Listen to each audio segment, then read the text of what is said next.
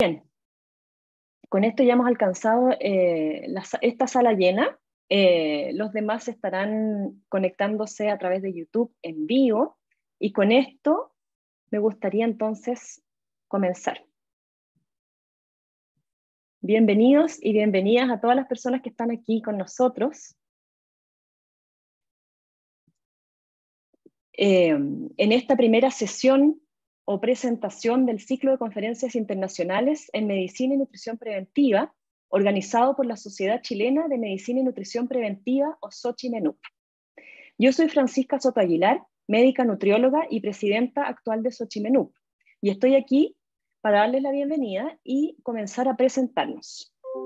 La Sociedad Chilena de Medicina y Nutrición Preventiva es una organización sin fines de lucro que busca agrupar a médicos y a nutricionistas para trabajar en la difusión, educación e investigación en nutrición preventiva, considerando la nutrición humana como un pilar fundamental en la salud de las personas y del planeta. En este ciclo de conferencias, nuevo y único entre las actividades de formación continua para profesionales de la salud, pretendemos apoyar la formación y actualización de los mismos en Chile y el mundo, invitando a diversos expertos de otros países a presentar en temas novedosos y de interés y prestando una traducción simultánea al español para derribar la barrera del idioma en este proceso. Esta actividad se está realizando en colaboración con el Physicians Committee for Responsible Medicine, o PCRM. Esta es una organización norteamericana sin fines de lucro fundada desde el año 85 y basada en Washington, D.C., con más de 17.000 médicos y casi un millón de personas que la, apoyan en el mundo entero, cuyo trabajo ayuda a los profesionales de la salud a cambiar su manera de tratar las enfermedades crónicas, priorizando la prevención. Antes de comenzar, quiero pedirles a todas las personas que están en Zoom que por favor elijan un idioma en las opciones que tienen en la barra de abajo. para la mayoría de las personas este idioma será español. De esta manera van a poder escuchar toda la presentación de manera correcta y a través de la voz de los intérpretes. Para las personas que estén en YouTube, ya tendrán configurado para escuchar la presentación en idioma español automáticamente, por lo que no tendrán que seleccionar nada. También quiero recordarles que para la comunicación con nosotros, el equipo técnico, para dudas de sonido, conexión u otros, pueden utilizar el chat tanto en Zoom como en YouTube, ya que no podrán habilitar sus micrófonos para hablar, de esta manera la presentación no se perjudica. Vamos a contar con minutos al final de la presentación para realizarle preguntas a la exponente, eh, que también las pueden dejar en los chats. Y nosotros mismos las traspasaremos hacia la experta. Por último, los quiero invitar a todos y a todas a compartir esta actividad en sus espacios de trabajo, en redes sociales, y de esta manera podamos llegar a más profesionales de la salud en este ciclo de conferencias. Sin nada más que agregar, es un honor para mí presentarles a nuestra exponente de hoy, la doctora Hanna Kaleova.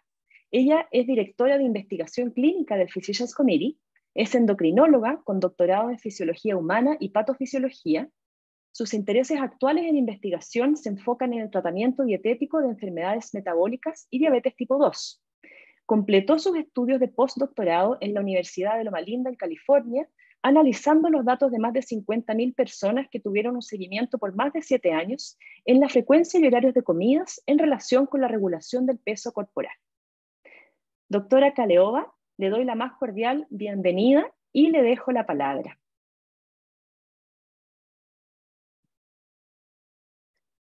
Muchísimas gracias, Francisca, por tu generosa presentación ¿Qué tal? ¿Cómo están todos, todas? Quiero agradecer el que estén aquí para priorizar su salud. Podrían estar haciendo algo distinto en este momento, podrían estar, estar divirtiéndose en algún otro lado o comiendo algo, pero han priorizado su salud por sobre todo lo demás, porque querían eh, saber sobre algo nuevo. Entonces, Muchas gracias por eso. Voy ahora a compartir mi pantalla para comenzar la presentación.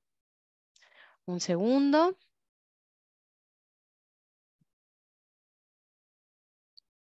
¿Pueden ver la diapositiva bien? Sí, se ve bien. Muy bien. Tenemos entonces un tema muy práctico el día de hoy.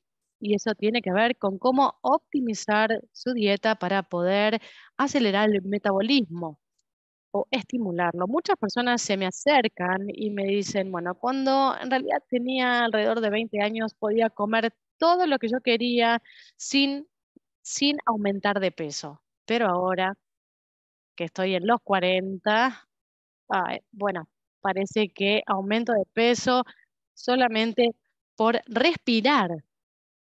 Y ese problema es real para muchas personas.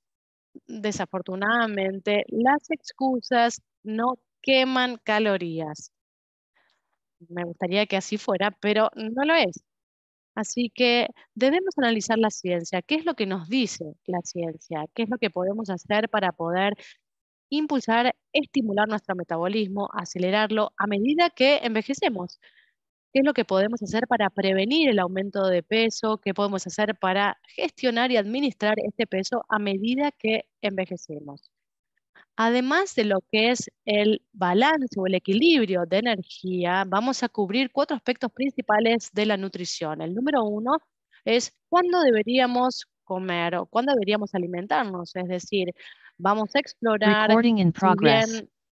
el alimentarnos a ciertos horarios es mejor que hacerlo en otros momentos del día.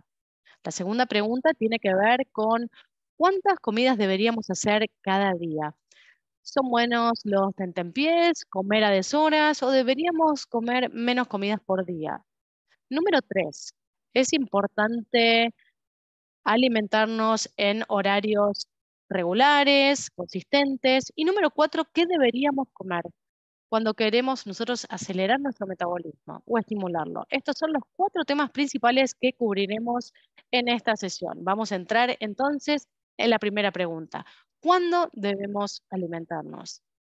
El tiempo para las comidas ha demostrado ser importante para nuestros ritmos circadianos y para nuestro metabolismo. Si ustedes comen la misma comida en la mañana y en la noche, no va a generar el mismo efecto la misma comida ingerida por la mañana o por la noche va a tener efectos fisiológicos completamente distintos. De hecho, va a generar un depósito de grasa más alto cuando ustedes ingieran esa comida en la noche versus si la comen a la mañana.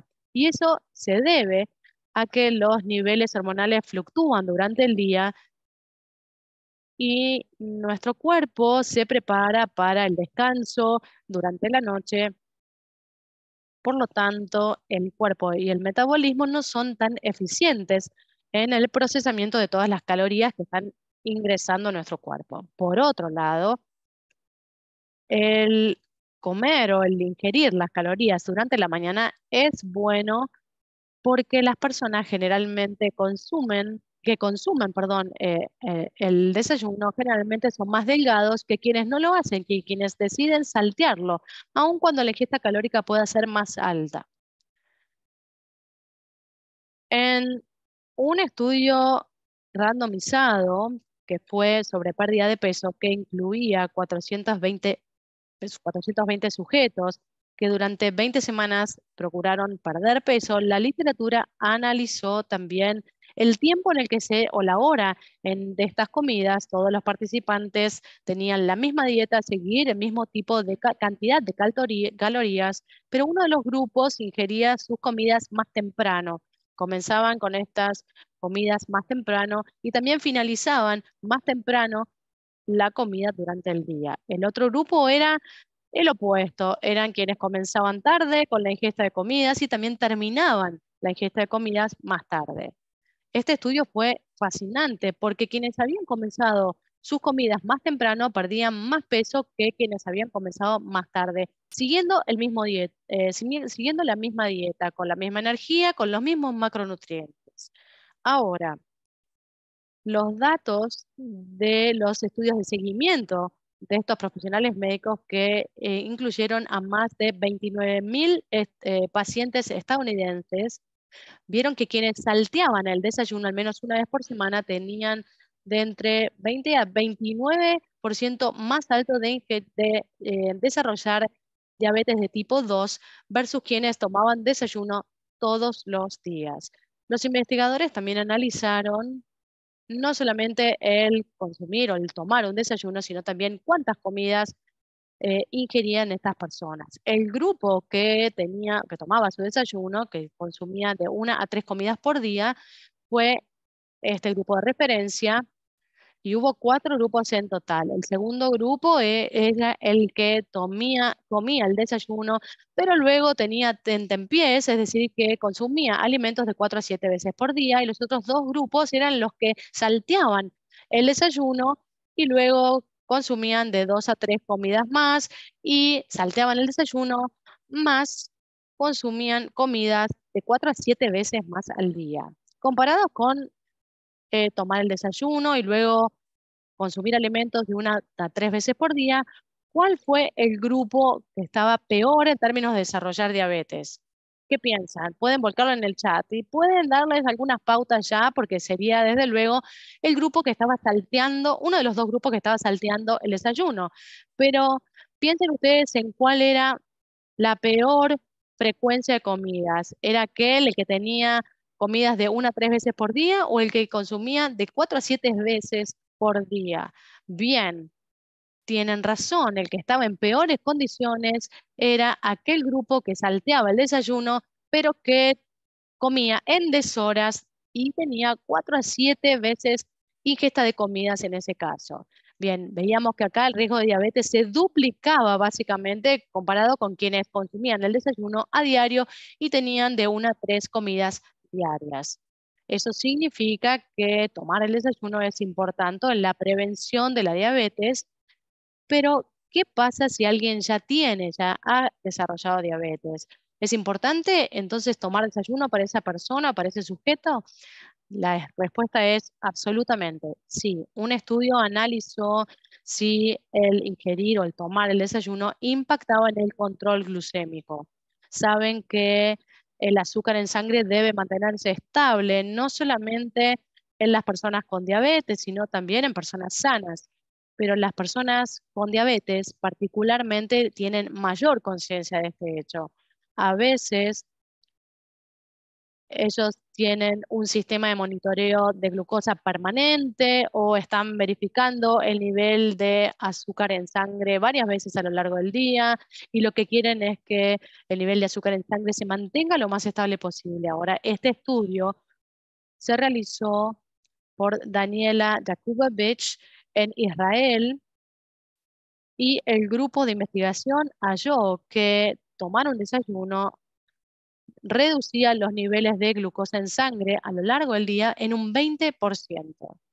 Entonces, el azúcar en sangre reducía un 20% cuando las personas tomaban su desayuno y esto se debía a mayor secreción de insulina y también mayor eh, eh, las hormonas incretinas que están que se secretan en nuestro intestino cuando nosotros consumimos algún alimento, cuando tenemos una comida, todos los nutrientes entran en nuestro en el intestino delgado.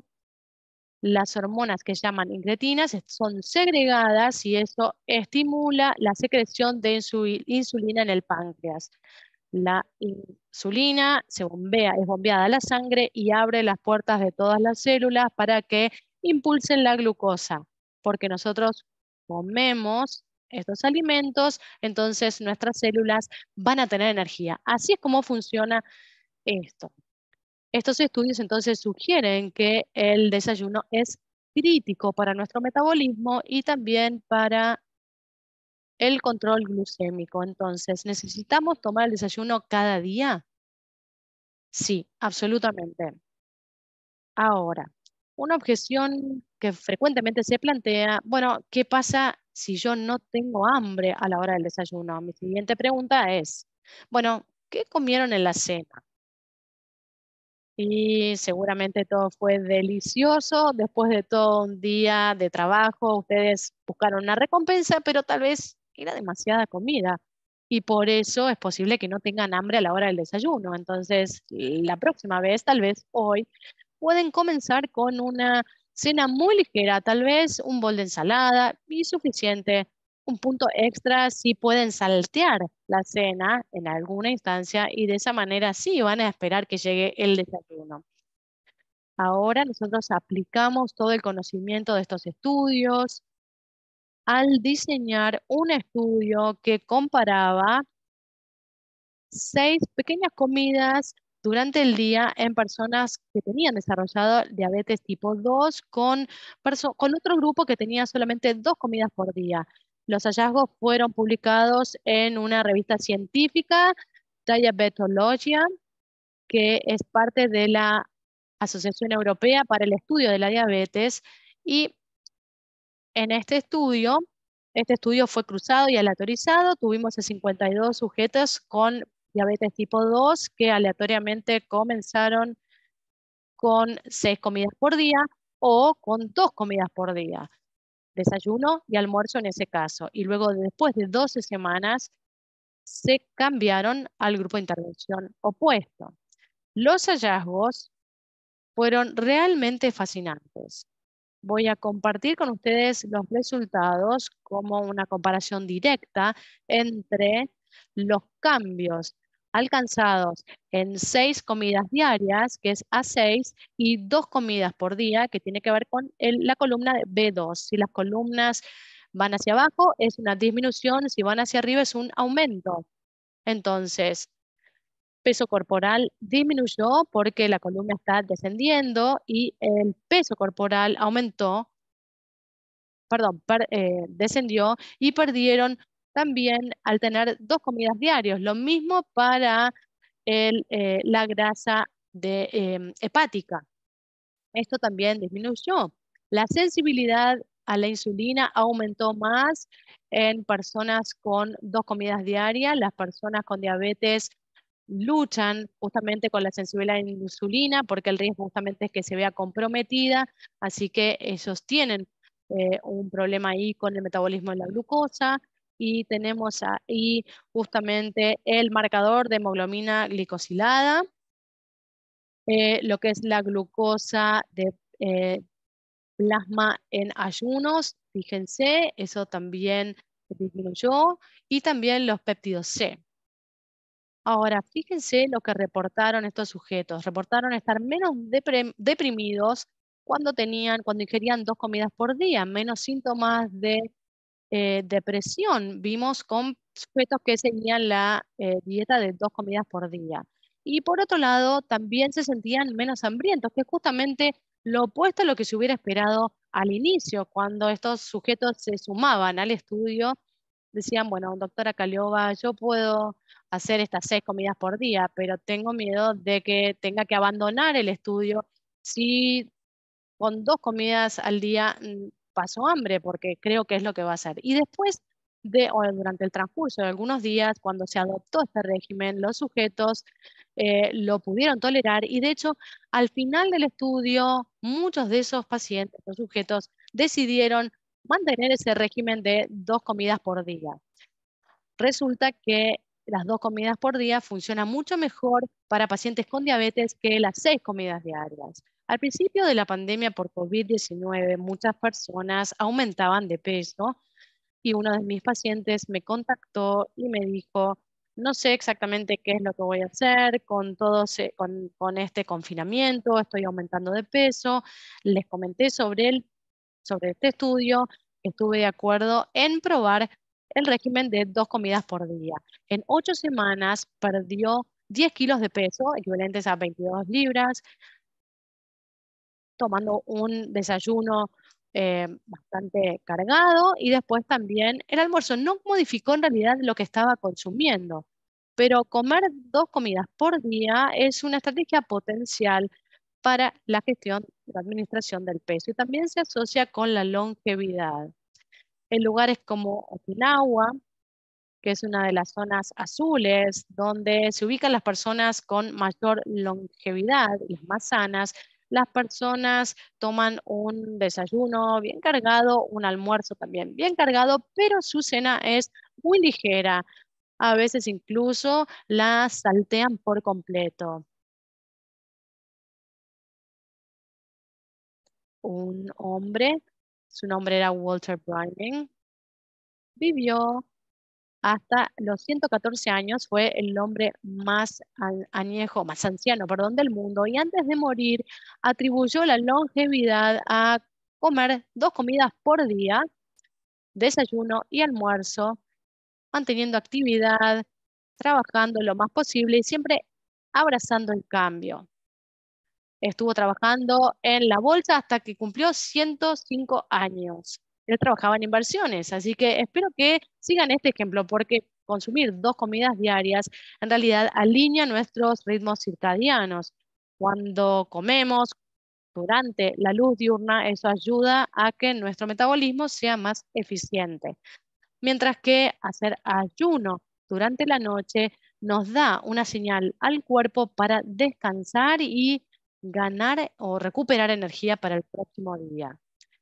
Nosotros abordamos el tema de las dos comidas por día, por día, pero esto está en contraste con todas las recomendaciones sobre los posibles tentempiés.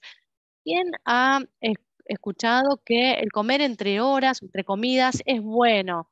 Pongan en el chat snacks si han oído hablar sobre estas recomendaciones, que puede ser bueno para eh, pesos. Bueno, el comer entre horas o entre comidas puede ser eh, recomendado para lo que es el control glucémico, especialmente con personas con eh, diabetes tipo 2, pero la investigación ha mostrado lo contrario. Nos ha indicado que comer más de tres comidas diarias se asocia con una mayor ingesta de energía, es decir, si uno comienza a comer a deshora, va a consumir más alimentos, va a consumir también, va a ingerir también más energía y más calorías. Esto significa que habrá un mayor eh, riesgo de obesidad y de diabetes tipo 2. El comer a deshoras también ha comprobado que estimula más la necesidad de alimentos, el hambre y el deseo de comer. Volviendo entonces al estudio de seguimiento de estos profesionales de la salud, la frecuencia de comidas también se asoció con el riesgo de desarrollo de diabetes tipo 2, comparado con la ingesta de tres comidas diarias, el comer cuatro veces al día, es decir, comer también entre medio de las comidas principales, desayuno, almuerzo y cena, se asociaba con un aumento de de contraer también eh, diabetes tipo 2. Entonces, comer menos comidas es más beneficioso para peso corporal y también para eh, un menor riesgo de, diabetes, de desarrollar diabetes tipo 2. Siempre me han fascinado estas zonas azules donde las personas viven más años y presentan los más altos índices de salud. Esto, uno de ellos es en Okinawa, Japón, otra es aquí en Loma Linda, California, Estados Unidos. Otra se ubica en Costa Rica. Esa está más cercana tal vez a ustedes, pero analicemos la zona azul en Loma Linda, California. Yo asistí allí para ser como becaria para un postdoc y allí hay más de, en este estudio participaron más de 50.000 sujetos en este estudio de salud adventista. Son estudiantes, eh, perdón, son sujetos que tienen mucha conciencia sobre lo que es su salud.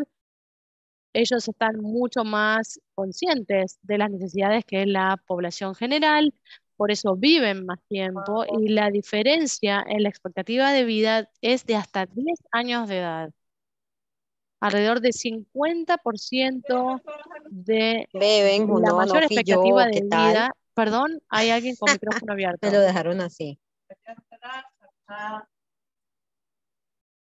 Puede tener que ver con el insumo o el consumo de una dieta alta o rica en vegetales, en granos, en leguminosas, en frutas, pero ¿qué hace el otro 50%? Quise estudiar este tema de la frecuencia y la cantidad de, o las horas, los horarios de comidas, es decir, cuándo comemos y cuántas comidas comemos por día puede llegar a impactar. Analicé entonces el número de comidas y de tentempiés por día o de comidas a deshoras y ver cómo las personas estaban aumentando de peso a lo largo de siete años. Si encontramos una relación lineal las personas que consumían tres comidas diarias, que estaban en el grupo de referencia, y las personas que comían a deshoras, que comían cuatro comidas o más por día, tenían un mayor riesgo de aumentar de peso durante el seguimiento. Y hubo un gran grupo de sujetos que solamente consumían dos comidas diarias, desayuno y almuerzo. Esta es una de las áreas azules, donde algunas personas consumen solo desayuno y almuerzo, al igual que en nuestro estudio con los sujetos de diabetes tipo 2. Y estuvieron mucho mejor en términos de su gestión de peso comparado con quienes consumían tres comidas diarias. ¿Qué pasa con los eh, horarios para consumir esto?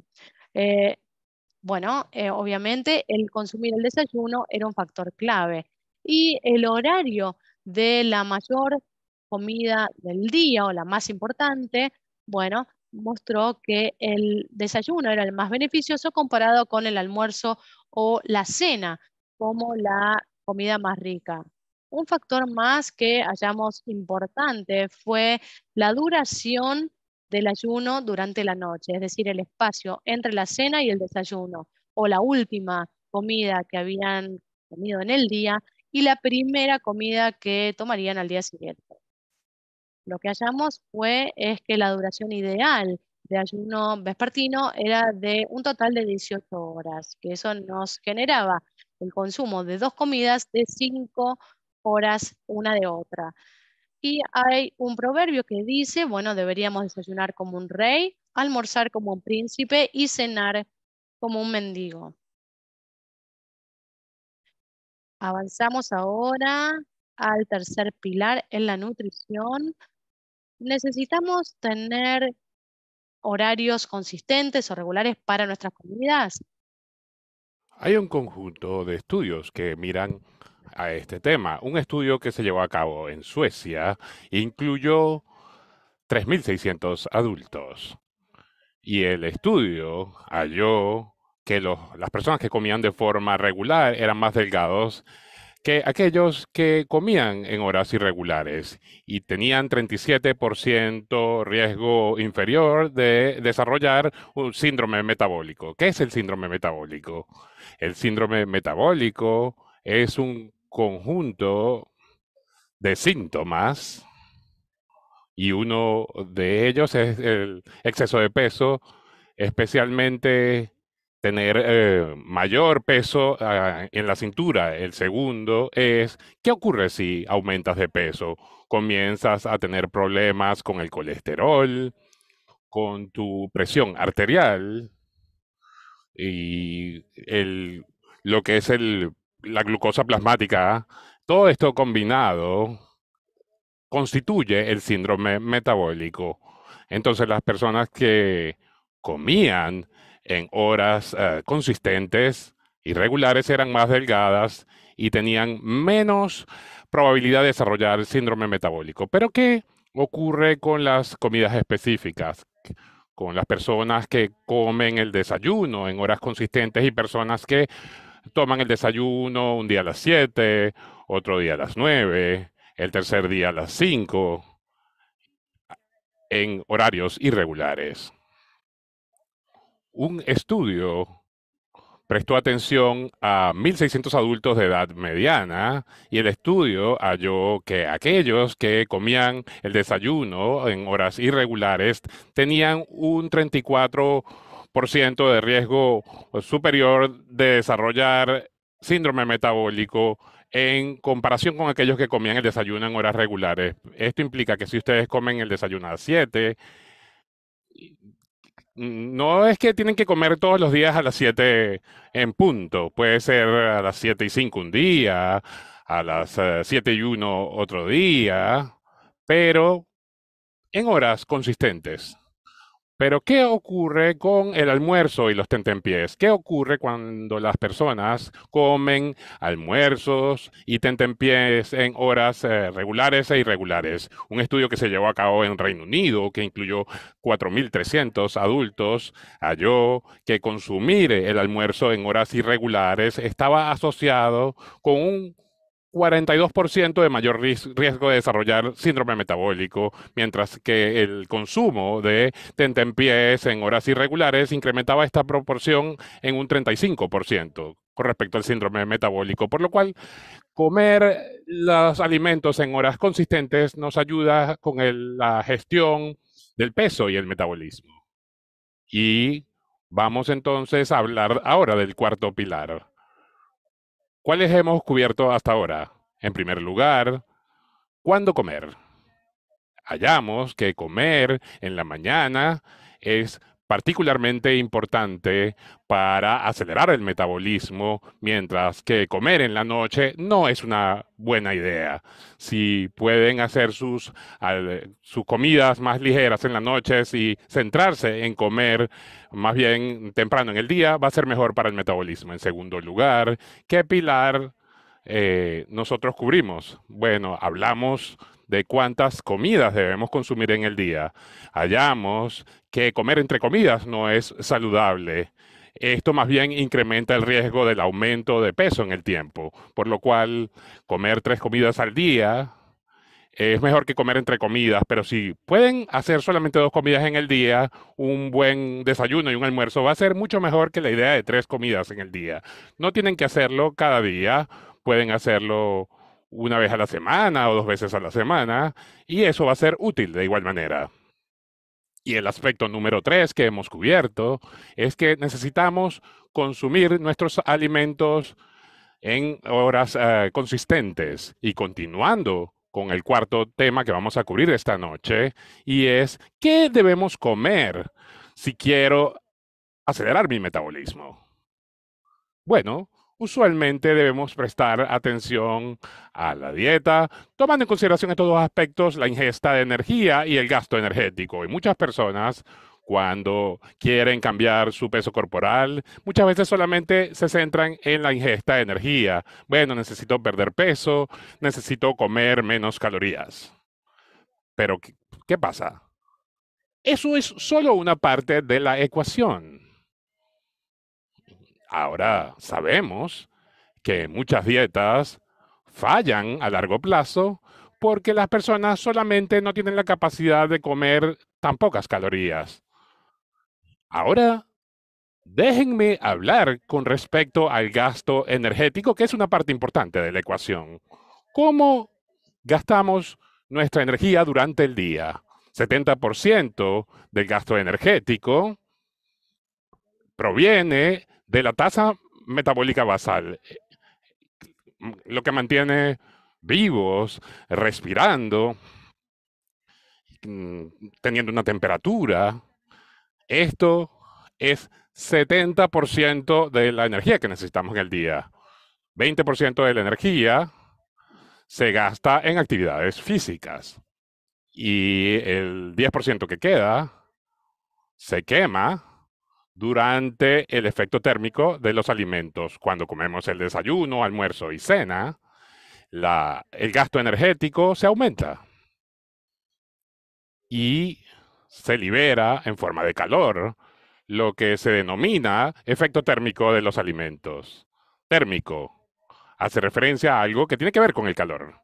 Sabemos cuando hace mucho frío ustedes consumen una comida, se calientan. Gracias al efecto térmico de los alimentos, esta energía que se libera en la forma de calor, lo cual te calienta.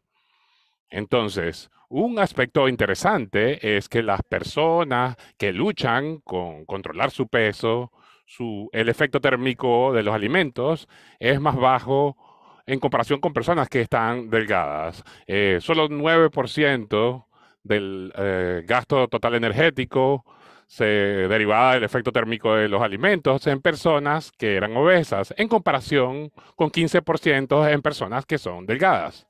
Ahora, ¿por qué ocurre esto?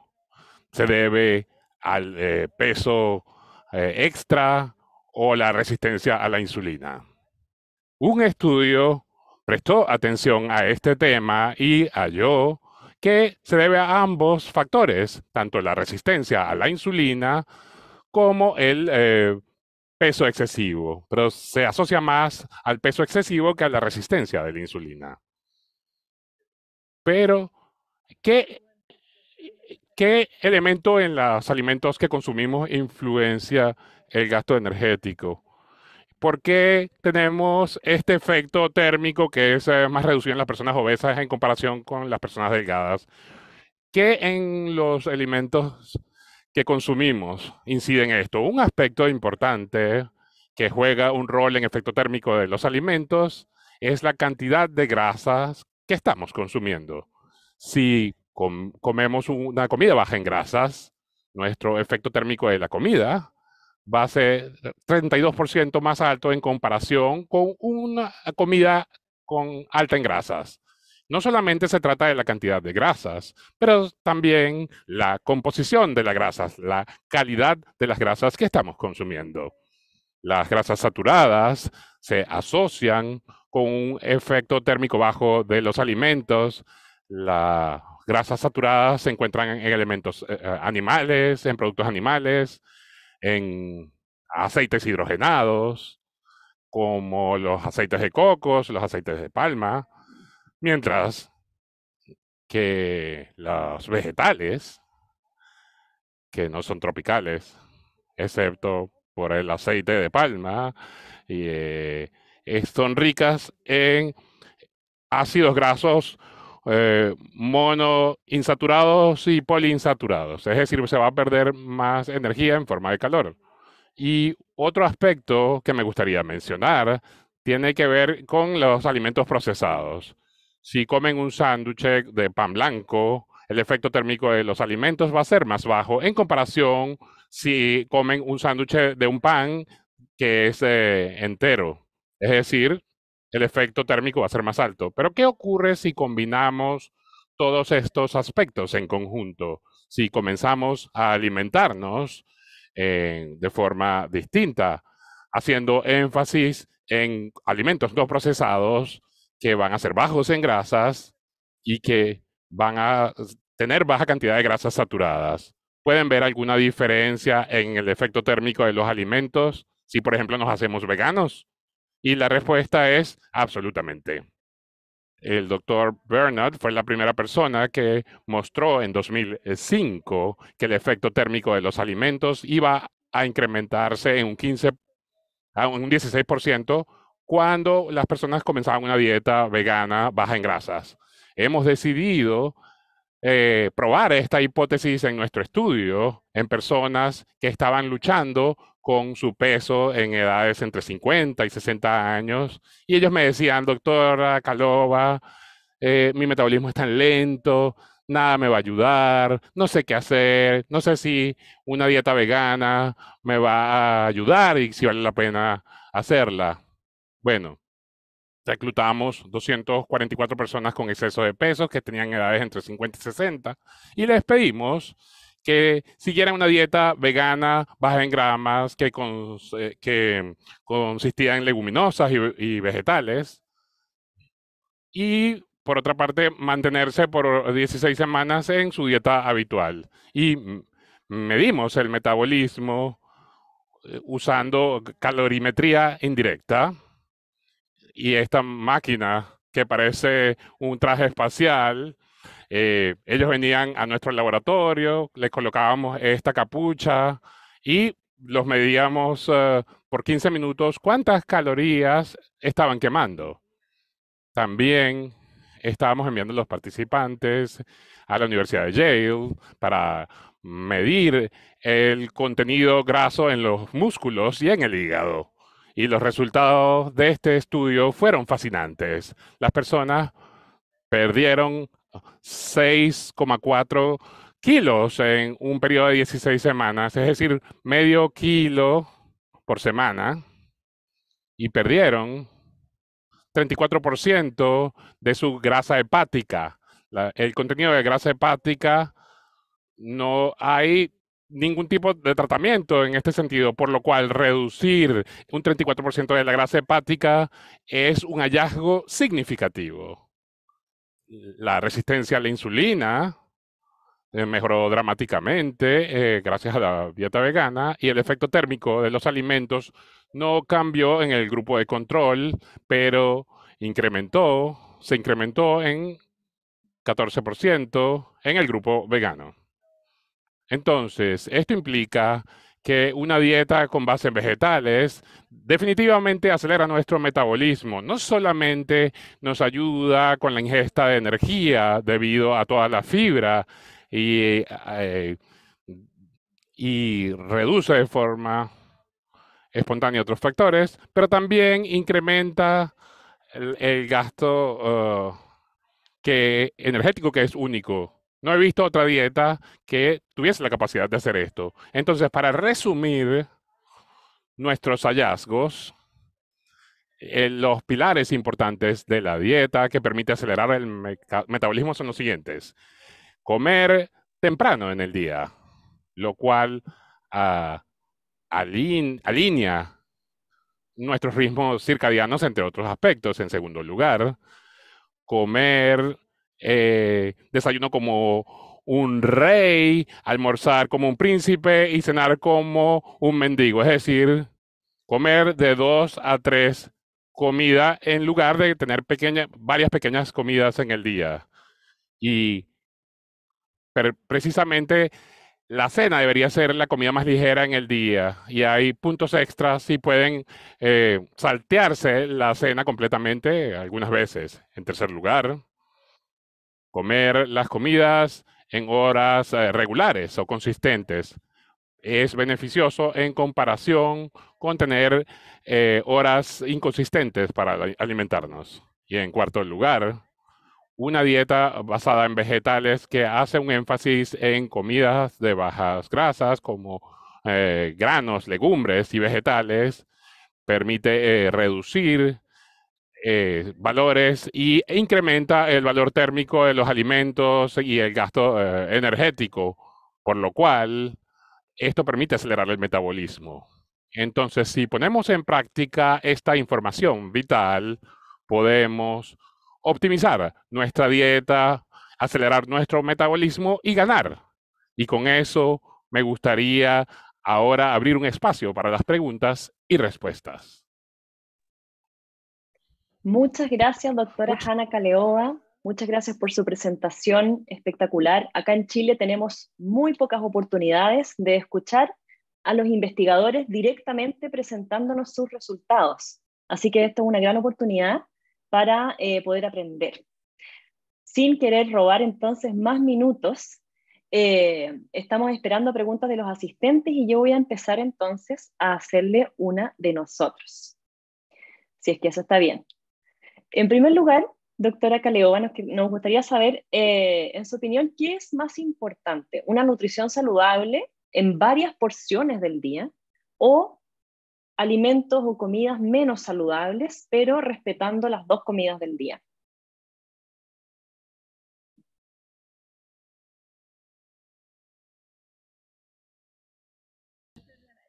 Esta es una pregunta excelente y la respuesta es que ambos aspectos son muy importantes, pero la composición de la dieta es el, factor más importante. Esto le va a permitir comer menos comidas en el día.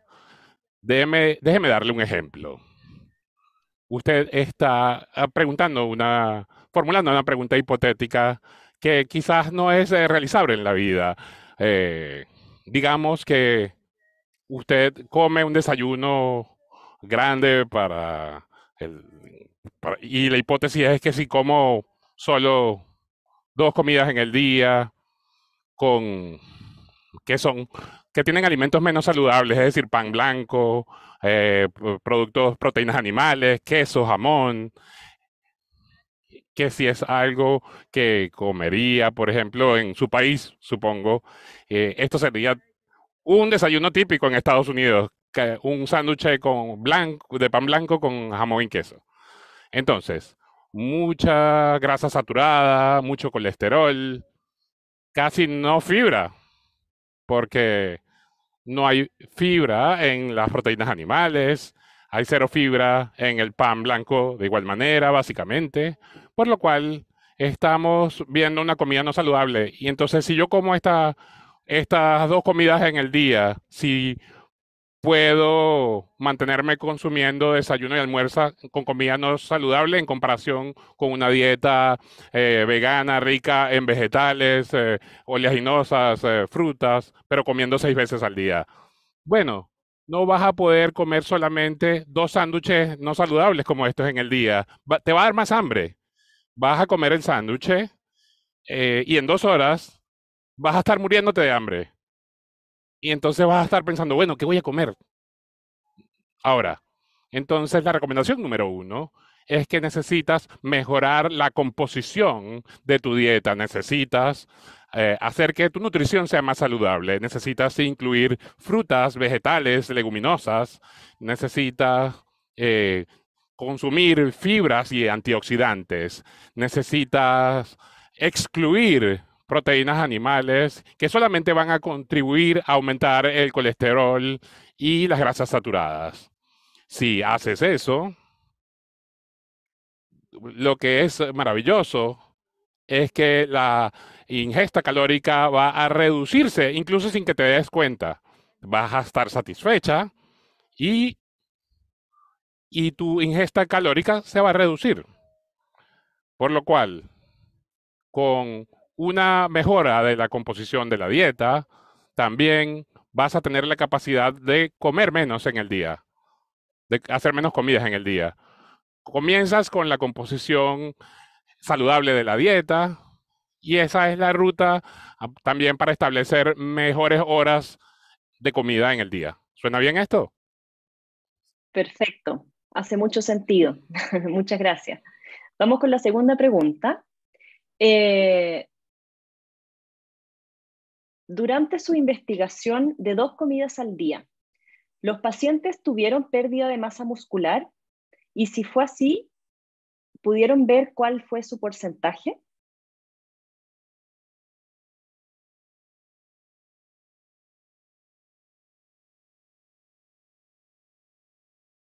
Esa es una pregunta importante. Cuando nosotros estamos perdiendo peso, queremos asegurarnos, asegurarnos de que estamos perdiendo grasa. Y eso es lo que pasa con dos comidas al día. La mayoría de la pérdida de grasa, perdón, la pérdida de peso, vino de la pérdida de grasa, que eso es bueno.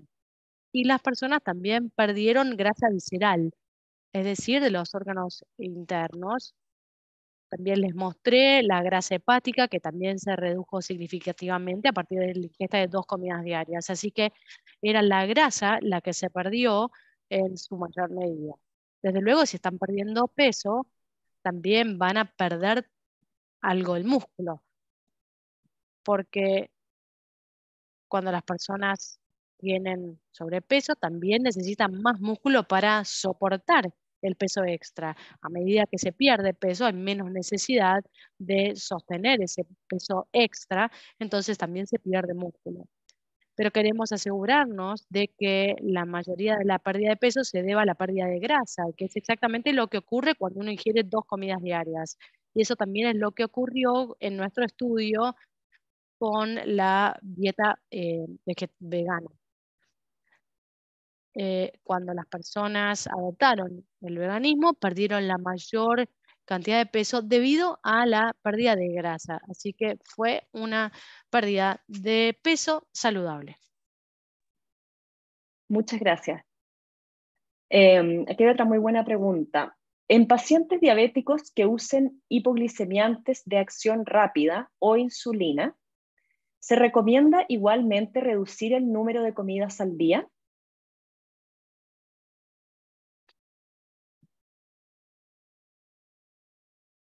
Así es como nosotros hicimos el estudio, lo hicimos justamente con personas con diabetes de tipo 2. Ahora, cuando con las personas que tienen insuficiencia de insulina o incluso con medicaciones, tienen que trabajar obviamente con los profesionales médicos, van a necesitar reducir su medicación.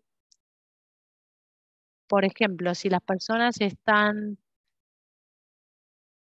consumiendo tres inyecciones a diario de insulina, para sus comidas, si deciden saltear la cena, van a saltear completamente una de las eh, de la insulina, la inyección de insulina que tengan que darse. Lo mismo para los hipoglicémicos, los agentes hipoglicémicos. Si uno consume tres comidas diarias y decide saltear por completo la cena, entonces van a tener que también saltear la medicación de la noche también. Las personas con diabetes tienen que estar trabajando muy de cerca con sus médicos sobre todos estos ajustes para asegurarse de que no entre en una hipoglicemia cuando modifican el número de comidas diarias. Y lo mismo es cierto o se puede decir sobre una dieta eh, vegana. Eh, los controles glucémicos mejoraron dramáticamente o drásticamente y también hubo necesidad de reducir la medicación con frecuencia en estos casos. Muchas gracias, doctora.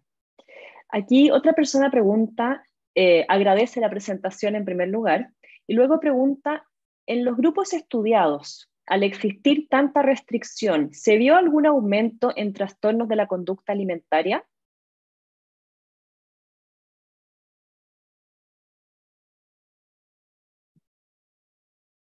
Esto se refiere al estudio con dos comidas por día, ¿verdad?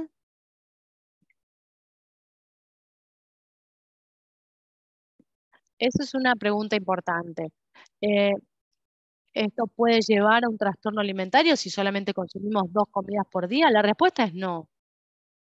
De hecho, la brecha entre una comida y la otra no es tan, tan extensa es totalmente factible.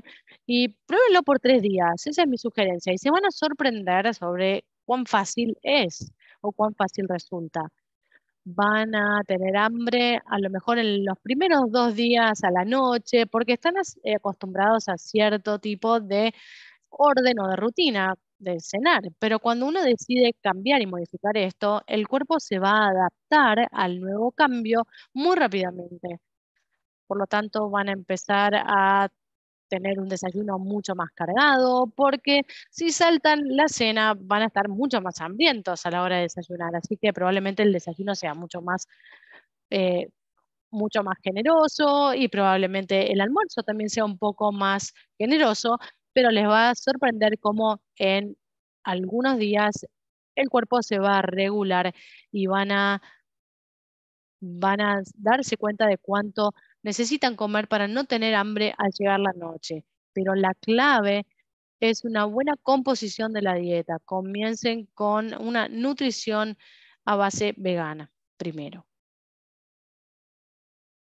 Creo que queda tiempo para una, una o dos últimas preguntas. Em, una persona aquí pregunta, eh, excelente presentación, ¿Qué opina de recomendar un desayuno contundente y balanceado en un contexto de alto estrés o poco tiempo?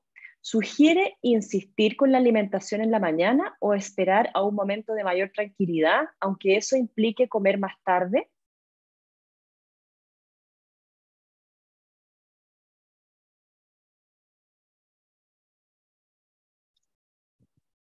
Es una excelente pregunta en tiempos de los horarios del desayuno hay una ventana de tiempo. Entonces, mm, coman el desayuno antes de las 10 de la mañana. Cuanto más temprano comiencen, mejor, pero desde luego tienen que ver su agenda o sus horarios.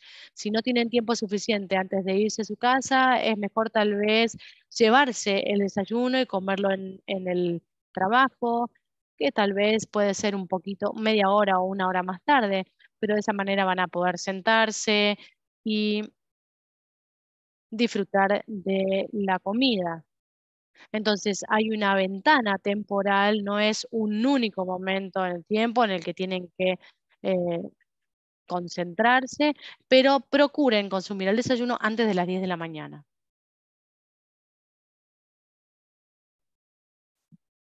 Muchas gracias, doctora. Creo que eh, con eso estamos con las preguntas.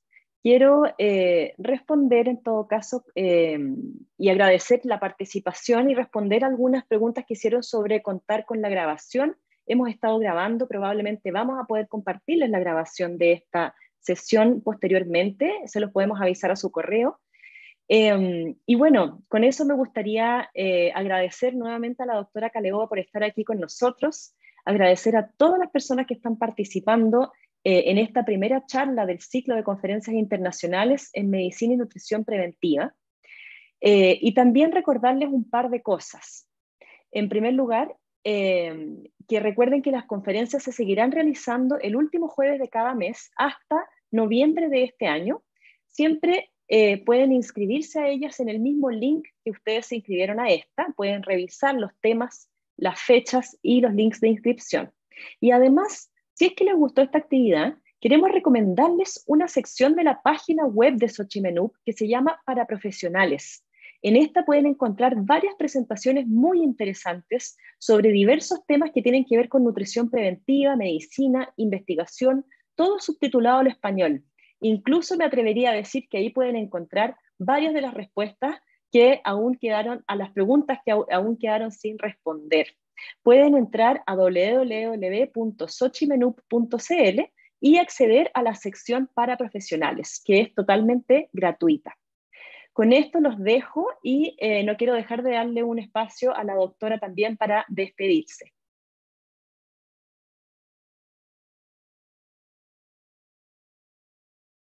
Muchísimas gracias por recibirme el día de hoy. Muchísimas gracias por su tiempo, por su compromiso hacia su salud y pongan todo en práctica. No esperen a mañana. Recuerden ir por los alimentos sanos, todas las vegetales, las leguminosas, las frutas y comiencen mañana con un desayuno bien saludable. Muchísimas gracias y nos vemos.